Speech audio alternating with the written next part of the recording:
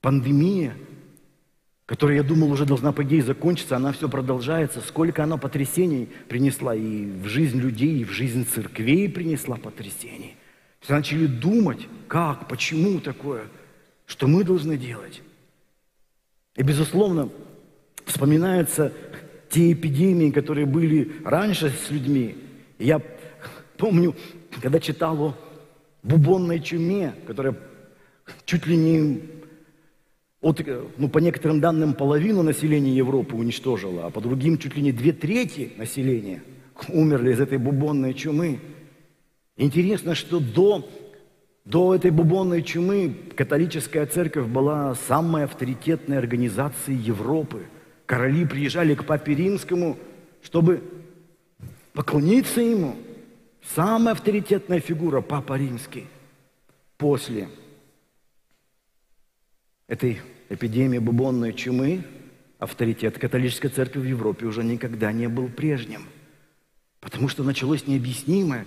Люди приходили в церковь, принимали причастие, а все равно заболевали. И даже через причастие видели, как передается. Как через плоть и кровь Господа могут инфекции передаваться? В голове не укладывалось. И церковь начинала трясти. И вера людей начала трястись. И историки христианства говорят, что в этот момент некоторые верующие теряли вообще веру. И говорили, ну вот что, мы ходим в церковь, а верующие также болеют. Мы принимаем причастие, а также можно, оказывается, и заразиться. Зачем нам такой Бог? Может, его вообще нет.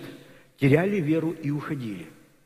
Другие верующие, они думали так, Наверное, может быть, не совсем правильно молятся.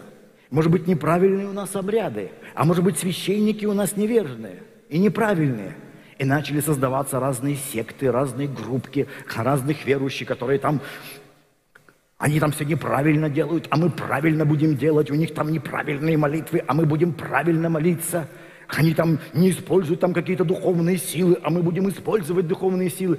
Ну и вот, вот такое началось вот разделение – и либо вообще неверие, либо странная ложная духовность, вот такая фанатичная и безумная.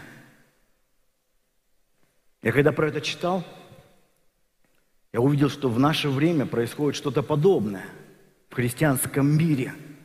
Часть людей после пандемии так в церква и не вернулась. Так если верующие так же болеют, зачем нам такая вера? И всякая, знаете, магиоцентризм, он терпит крушение во время этих пандемий, когда люди вокруг магии концентрируются. И часть людей говорит, а, мы разочаровались, а, мы не верим, а, нам это больше не нужно, уходят. И тут же появляются другие, да, с другой стороны. О, там неправильно все, молитвы неправильные, служение неправильное. Вот мы сейчас будем правильно делать. Они там ничего не знают, а мы знаем, это уже конец света. И начинаются всякие предсказания, вот эти супердуховные, ложные. Потом эти предсказания не исполняются. Они говорят, вот должен быть конец света, конец света не наступил. Они говорят, ну ничего, Бог это так специально нас всех испытывал. Ну, они придумывают отговорки.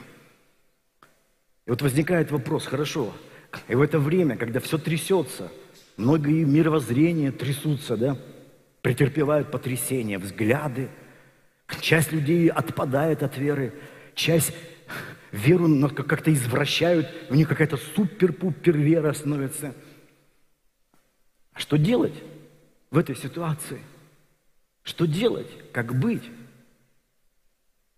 Словно Бог нас вот так или иначе направляет вот сюда, вот в это общение.